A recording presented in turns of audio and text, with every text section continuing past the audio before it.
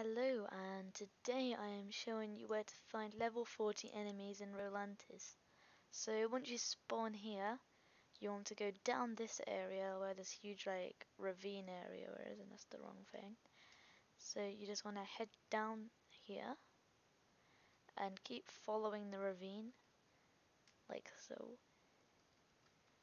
It helps if you have this trident, well this power up thing, second you'll see it. Yeah, you see that like submarine over there. You want to head to that submarine, which is just over there.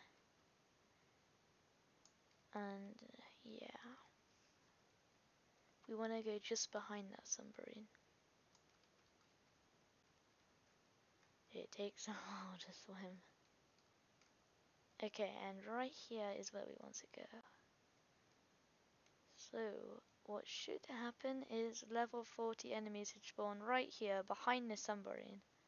That's how I remember it is, by the submarine. And here are level 40 enemies. So yeah, if you did enjoy this video, leave a like and subscribe. Comment if this helped you, and bye.